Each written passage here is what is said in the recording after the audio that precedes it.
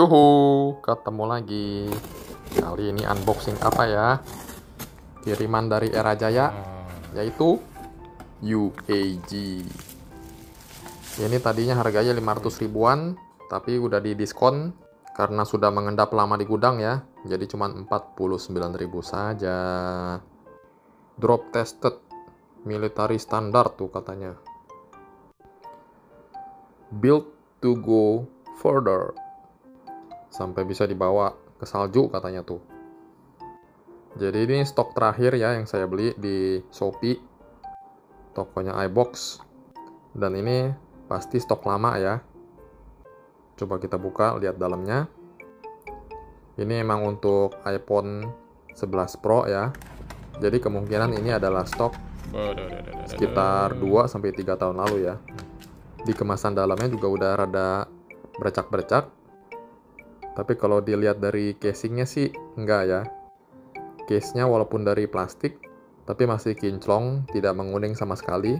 Karena emang kalau yang bikin kuning itu kan karena kena keringat atau cahaya matahari ya. Karena ini di gudang pasti masih prima kondisinya. Ini case silikon, tapi cukup grippy ya. Dan ada berbagai tekstur. Misalnya di pinggirnya dia ada model kayak honeycomb, ini untuk mencegah benturan kalau jatuh. Terus ada garis-garis di sampingnya buat supaya pegangnya lebih ngegrip. Sebenarnya saya nggak begitu suka ya dengan model UAG ini. Karena menurut saya kurang simple bentuknya. Tapi coba saya pasang dulu ke iPhone 11 Pro ini. Tapi saya pakai tempered glass full 3D ya.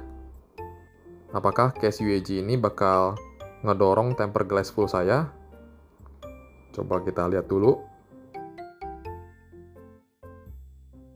Biasa kalau casing yang ori dia rada ketat ya. Uh, nggak ini loh, dia nggak nggak kena, nggak kena temper glassnya. Atau kena? Sudah dipasang.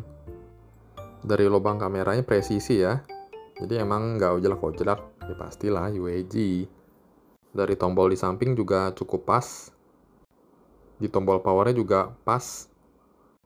Bagian layarnya juga dia nggak menggencet temper glassnya ya, walaupun full 3D sampai ke ujung. Tempat tombol switch mute-nya cukup spacey jadi mudah untuk dikontrol. Nah, dia di belakangnya ada seperti tekstur ya. Jadi dia tidak slippery. Di bagian kameranya juga lebih menonjol keluar. Jadi sewaktu nanti akan diletakkan di atas meja, kamera yang tidak kena meja.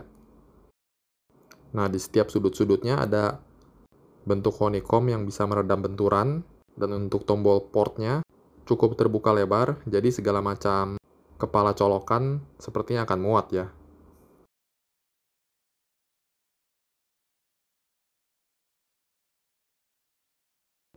Oke, okay, so far so good.